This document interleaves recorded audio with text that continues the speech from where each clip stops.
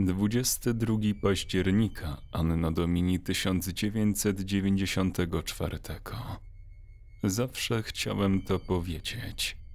Mam na imię Mateusz. Nazwiska nie zdradzę, ponieważ gdyby to nagranie dostało się w ręce osób, które odpowiadają za bezpieczeństwo w naszym państwie, to byłoby po mnie. A może już jest w momencie, gdy zdecydowałem się to wszystko nagrać. Mniejsza z tym.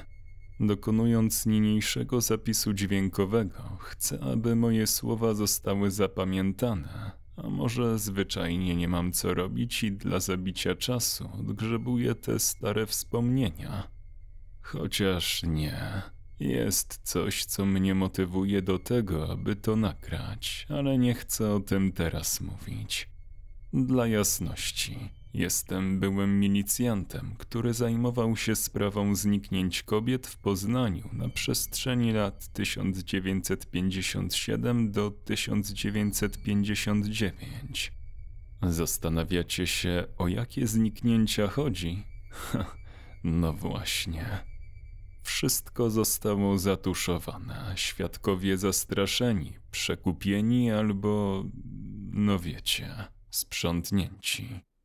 Gdy tylko przypomnę sobie wszystko, co się wtedy działo w związku z tymi zdarzeniami, to mam ciarki na plecach. Nigdy wcześniej i później nie spotkałem się z tak popierdoloną sprawą.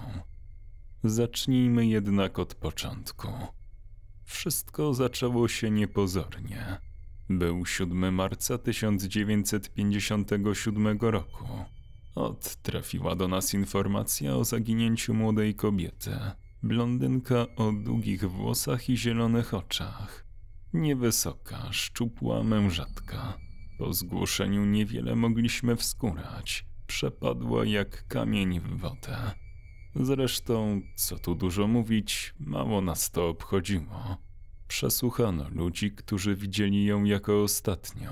Zbadaliśmy miejsce, gdzie znaleziono ślady szarpaniny i niestety oprócz torebki zaginionej nie było tam nic więcej. Mąż ofiary opowiedział, że kobieta wyszła na spotkanie ze swoimi przyjaciółkami. Jak ustalono, Jolanta Kalska nigdy nie dotarła na miejsce. Kiedy uznano, że śledztwo stoi w miejscu, bo brakowało dowodów czy poszlak, a wszystko wydawało się nie mieć sensu, sprawę odwieszono na hak. Mąż kobiety sprawiał wrażenie pogodzonego z tym, co się stało. Były takie chwile, że podejrzewałem, iż to on pozbył się swojej żony. Brzmi może absurdalnie, ale nie o takich historiach słyszałem. Brakowało jednak dowodów, które by uzasadniały jego potencjalną winę. Pół roku później jego żona została znaleziona. Jak sobie przypomnę tamten widok, to przechodzą mi dreszcze po ciele, a miało być gorzej. Znaleźliśmy odciętą od reszty ciała głowę Kalskiej. Była oskalpowana i miała wydubane oczy. Do przesyłki został dołączony list. Wiecie, jeden z tych wyklejanych z pomocą wycinków z gazet. Reszty ciała nigdy nie odnaleźliśmy. Nie dało się ustalić, czy przypadkiem mąż zmarłej nie maczał w tym palców.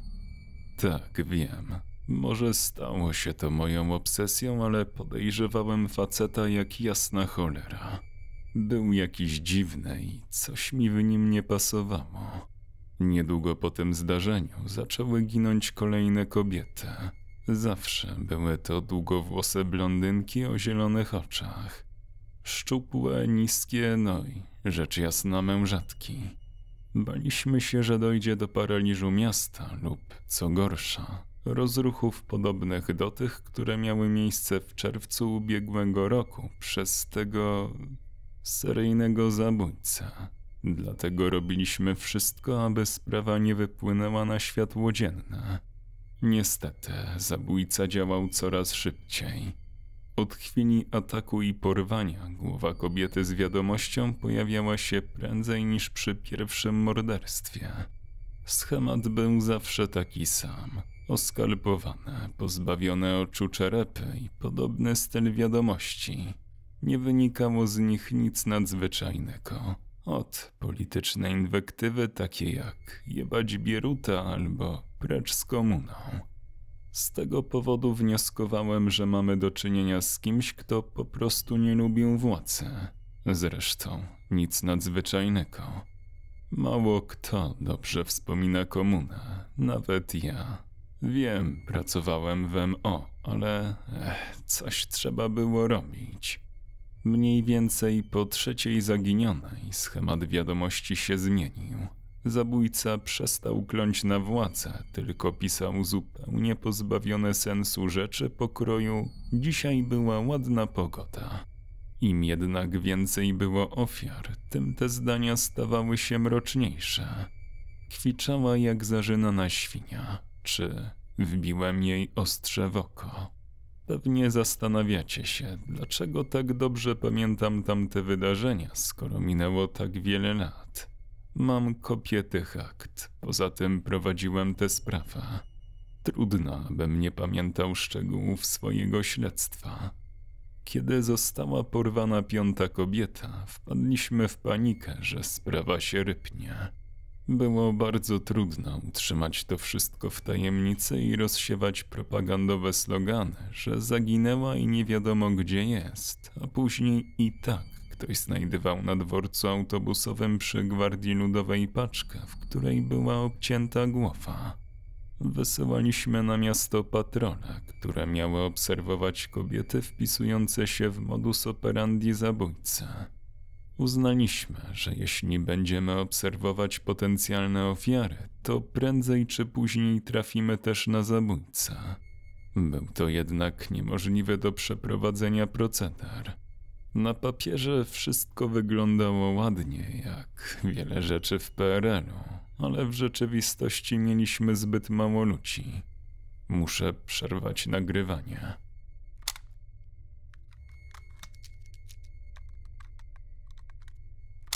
Już jestem. Sąsiadka miała jakiś problem i potrzebowała pomocy.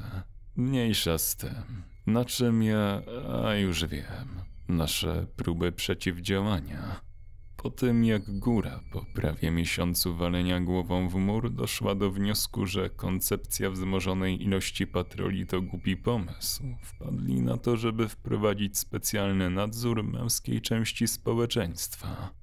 Legitymowano mężczyzn w sposób wzmożony, jednak i to na niewiele się zdało. Później były aresztowania pod byle pretekstem przesłuchiwania. Jedyny plus z tego był taki, że z Betsy udało się kilku tajniaków zmusić do współpracy. Jednak my wciąż nie wiedzieliśmy nic ponad to, czego dowiedzieliśmy się na początku, a liczba ofiar rosła w coraz większym tempie. Przyszedł mi do głowy pomysł, że może to większa, zorganizowana grupa, która robi tę całą akcję, aby ukazać władzę w złym świetle, ale wydało mi się to głupie. Chociaż słyszałem kiedyś, że jeśli coś na pierwszy rzut oka jest głupie, to warto wziąć to pod uwagę. Nie było jednak czasu na takie zabawy, ponieważ liczba ofiar zbliżała się do dziesięciu, nie było jeszcze pięćdziesiątego ósmego roku. Kulminacja nadeszła zimą 59. W nowy rok na starym rynku pod ratuszem znaleziono nagie zdekapitowane ciało. Tym razem wiadomość była wycięta na ciele ofiary i jak sobie to przypomnę, to muszę się napić. Wiadomość głosiła, komuna upadnie. Tylko tyle. Morderca wrócił do starych schematów, ale zaskoczyło mnie, że zamiast głowy było ciało. Myślicie, że to jest najgorsze? Nawet nie wiecie, jak bardzo się mylicie. Ciało należało do Grażyny Piotrowskiej, jednej z pierwszych ofiar naszego seryjnego zabójcy. Tak, dobrze słyszycie. Brzmi jakoś nadzwyczajnie. To siedźcie dobrze, a najlepiej to złapcie się czegoś. Ciało było w takim stanie, jakby zamordowano kobietę poprzedniego dnia. A jeśli dobrze pamiętam, to głowa Piotrowskiej została znaleziona w październiku 57. Minęło kilkanaście miesięcy, a ciało wyglądało. Głupio to zabrzmi, ale jak nowe. Nie potrafiliśmy tego wyjaśnić. Nikt nie potrafił. Ciało Piotrowskiej zostało poddane sekcji i ustalono, co następuje. Imię Grażyna, nazwisko Piotrowska, z domu Węglarczyk, urodzona 3 czerwca 1932 roku w Poznaniu. Kobieta została pozbawiona głowy z pomocą prawdopodobnie noża myśliwskiego lub innego bardzo ostrego przedmiotu. W następnej kolejności zabójca prawdopodobnie posłużył się siekierą albo brzeszczotem.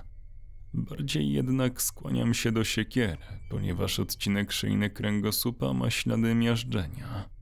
Brzeszczot pozostawiłby ładne, równe cięcie. Plamy opadowe oraz stężenie pośmiertne sugerują, że zgon nastąpił nie więcej jak 12 do 14 godzin temu. Nie stwierdzono śladów innych obrażeń ani śladów gwałtu. Więcej nie będę czytał. Informacja o czasie, jaki minął od chwili zgonu, jest najważniejsza. Przeczytam to raz jeszcze, aby wybrzmiało mocniej. Między dwunastoma a czternastoma godzinami, a przecież minęło prawie półtora jebanego roku. Wszyscy nabrali wodę w usta, sprawę zatuszowano. Nikt o tym nie rozmawiał. Góra wpadła w panikę i kazała po prostu tuszować wszystko, śledztwo zostało wyciszone. Cudem udało mi się zdobyć te akta, które trzymam teraz w dłoniach. Cała masa papierów została spalona, by zatrzeć ślad tego, kim mógł być potencjalny morderca. Nawet teraz, po tylu latach, z trudem te słowa przechodzą mi przez usta.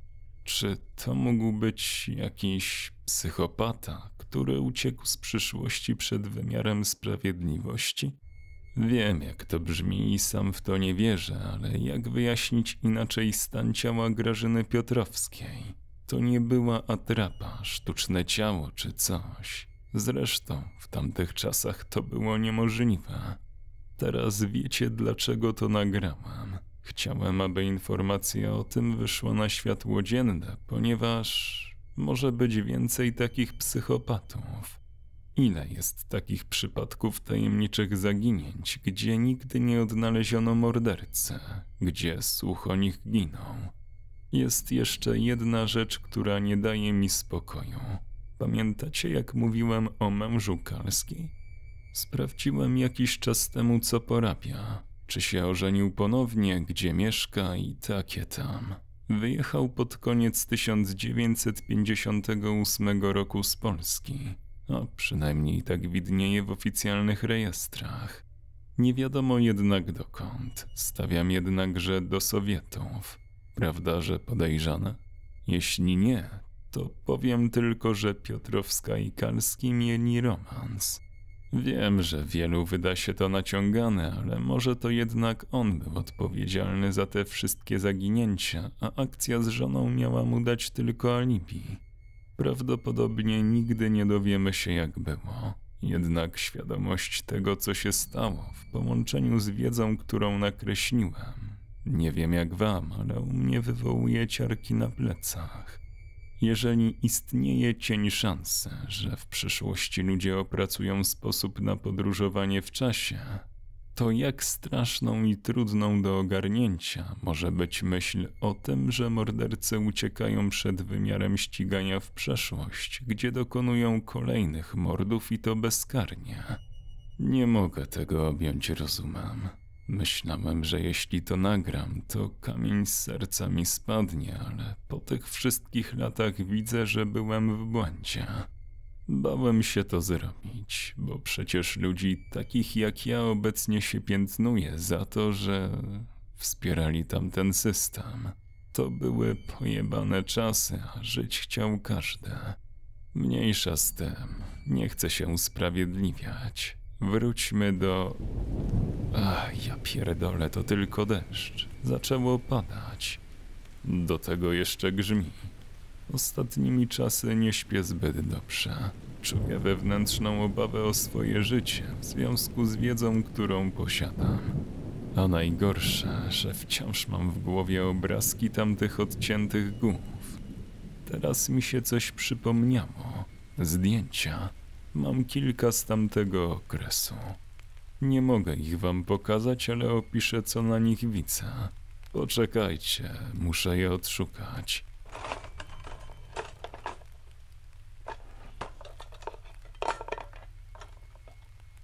Mam. Niewiele, ale zawsze. Pierwsza fotografia przedstawia scenę ze wspomnianego dworca PKS-u na Gwardii Ludowej. Nie wiecie pewnie, gdzie to jest, bo teraz ta ulica nazywa się Wierzbięcica. Ot, taka dygresja. Tam odnaleziona została głowa Kalskiej. Na trzecim planie, za ogrodzeniem, widać sporą liczbę gapiów, a wśród nich mężczyzna, łudząco podobny do Kalskiego, przynajmniej w moim przeświadczeniu. Mogę się mylić, ponieważ jakość jest niezbyt dobra, ale tak, moim zdaniem jest to Kalski. Druga fotografia, Grażyna Piotrowska, znaczy jej głowa, znaleziona pod ratuszem na Starym Rynku. Zabawne. Ponad rok później w tym samym miejscu została znaleziona reszta jej ciała. Zdjęcie, które wykonał technik na miejscu, objęło kilku biernych obserwatorów, którzy siedzieli w pobliskiej kawiarni. Wśród nich znowu postać podobna do Kalskiego. I trzecia fotografia, nowy rok 59. To wtedy znaleźliśmy ciało Piotrowskiej, również pod ratuszem. Była szósta rano, pustki. Miasto miało jednego wielkiego kaca, a ja dyżur noworoczne. Najgorszy kurwa nowy rok w moim życiu. Wracając jednak do sprawy, wiecie o co chodzi. Nie było żywej duszy na ulicach. Dostrzeglibyśmy każdego, kto by stał i się nam przyglądał zwłaszcza na Starym Rynku. Na zdjęciu widać samotnego mężczyznę stojącego u zbiegu ulicy Żydowskiej z Wielką. Głowę dam sobie uciąć, że nikogo tam nie widziałem, a na fotografii jest postać w ciemnych okularach i z aparatem fotograficznym, która robi nam zdjęcia pod ratuszem. Przecież nikt mi nie powie, że to duch. Duchy nie istnieją do ciężkiej cholery.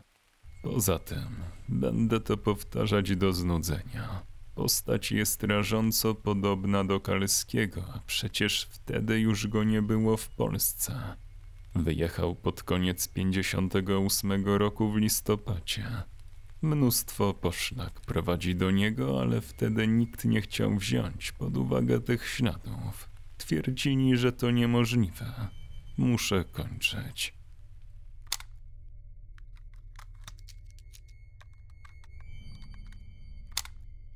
23 października 1994 roku. Udało mi się znaleźć teczkę z informacjami dotyczącymi ofiar zabójcy podczas prowadzonego śledztwa. Nie byłem pewien, czy mam ją w swoim posiadaniu, a nie chciałem mówić o tym wszystkim z głowy. Zacznę oczywiście od Jolanty Kalskiej. Pominę informacje związane z przeprowadzonymi badaniami podczas autopsji, zarówno teraz, jak i w późniejszych przypadkach. Wszystkie ofiary zostały w podobny sposób potraktowane. Jolanta Kalska, lat 20 w chwili śmierci, prowadziła spokojne życie u boku swojego męża Jana. Byli bezdzietnym małżeństwem. Jolanta sporo uwagi poświęcała relacjom ze swoimi przyjaciółkami z czasów szkolnych. Spotykały się regularnie co 2-3 tygodnie w kawiarni Kociak na ulicy Armii Czerwonej w Poznaniu. Z informacji, które posiada SB, ani Kalska, ani żadna z jej przyjaciółek nie miały nic wspólnego z wrogami państwa polskiego. Jolanta Kalska prawdopodobnie została uprowadzona gdzieś na Starym Mieście. Zawsze odbywała tę samą drogę na spotkanie z przyjaciółkami, gdzie w połowie spotykała się jedną z nich i dalej szły już razem. Tamtego wieczoru wspomniana kobieta Marlena Janicka nie dotarła na spotkanie z powodów zdrowotnych swojego dziecka. Chłopiec miał wówczas anginę i musiała się nim zajmować, w związku z czym Jolanta Kalska całą drogę odbyła w samotności. Tak przynajmniej zeznają świadkowie, którzy widzieli ją w drodze do kawiarni, jeszcze nim doszło do ataku.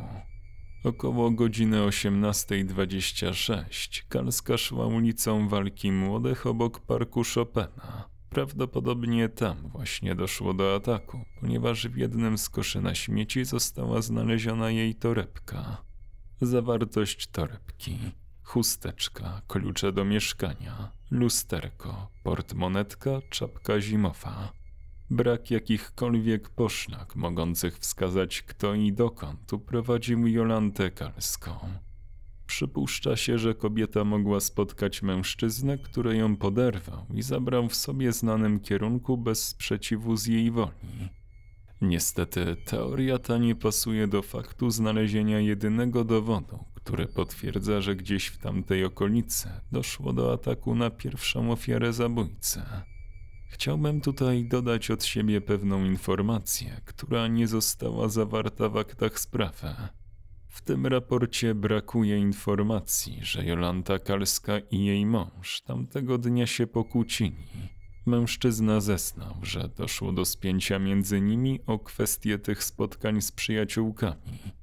Jest to mało istotny szczegół, jednak fakt, że został wymazany z tych akt, może stanowić potwierdzenie mojej tezy, o której wspominałem w poprzednim zapisie dźwiękowym. Przejdę teraz do kolejnej ofiary. Była nią Grażyna Piotrowska.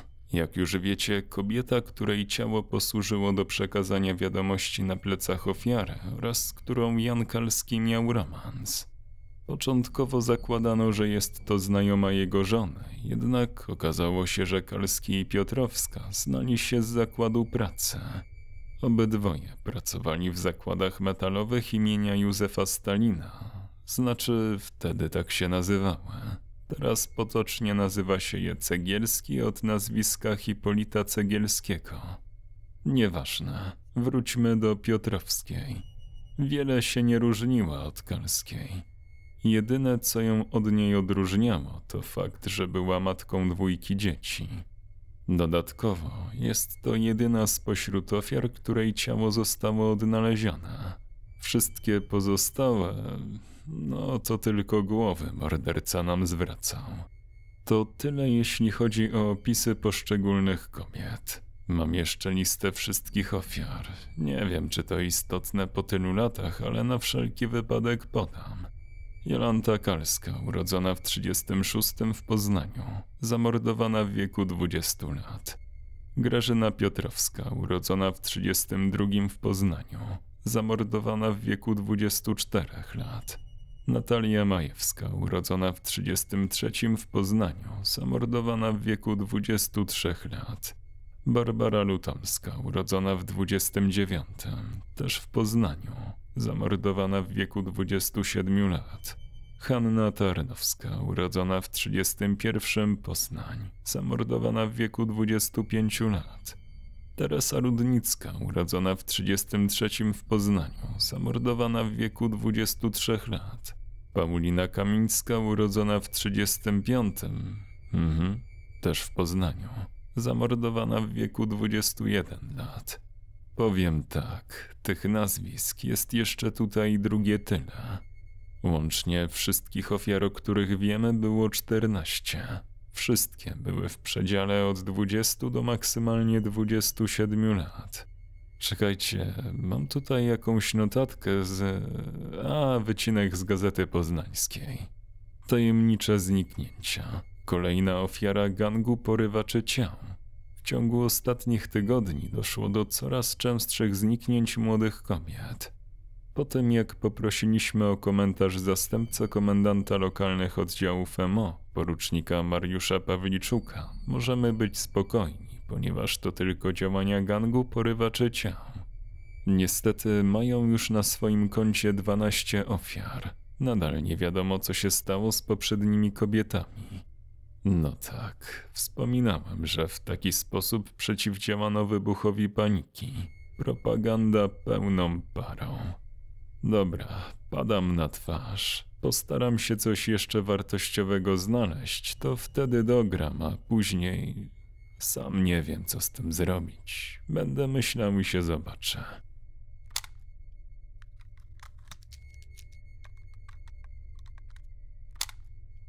Dwudziesty siódmy października 1994 roku.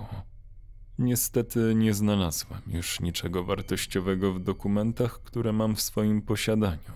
Przeszukałem wszystko dokładnie i przejrzałem skrupulatnie wszystkie flepy. Muszę natomiast podzielić się z wami pewną informacją, która coraz mocniej mnie niepokoi.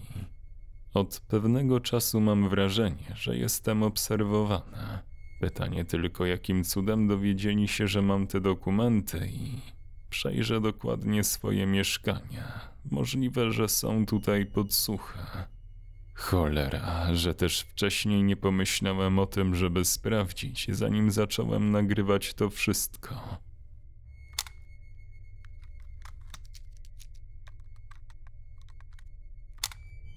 28 października 1994.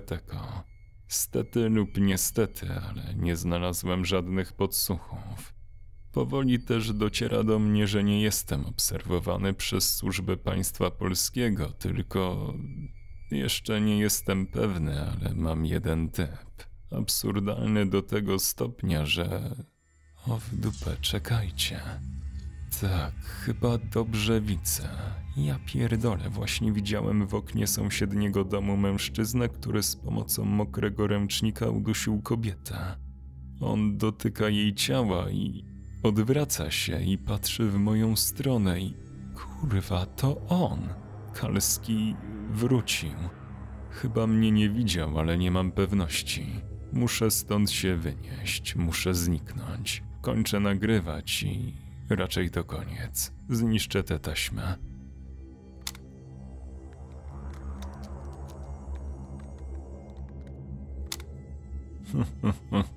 Ktokolwiek słucha tego nagrania, jestem gdzieś tam i nadal poluję. Być może mam cię na oku, tak samo jak tego jebanego śmiecia. Służby były w błędzie. Nie zabiłem według ich wyliczeń 20 kobiet. Zabiłem do tej pory 37 osób. Większość wiadomo, lubię mordować długowłose blondynki odcinać im głowy, ale mam na swoim koncie też mężczyzn i dzieci. Nie próbujcie mnie szukać, bo źle się to dla was skończy. Najlepiej zapomnijcie, że kiedykolwiek istniałem.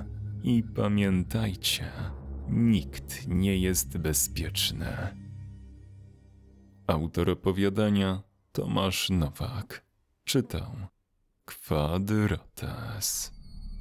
Osoby wspierające powstawanie nowych treści to Kalusia, Syrenka Ladacznica, Brutal Drop, Sebastian Król, Gregorikos, Mateusz Z, Wiktor Walczak, Alastor, Wojti 262, Milki Rainbow, Tomasz Kowalewski, Krzysztof Kozak-Ślęsak, Stary Trześwe, Magiczna Basia, Tommy Lee Jones, Dominik Polak, Adam Janasek, Mrs. Line 97, Adrian Masłowski, Iguro Obanaj, Czarna Polololo, Aleksni TV, Mateusz Salak, Polisz Sosycz oraz Jurek Ziajko. Do usłyszenia.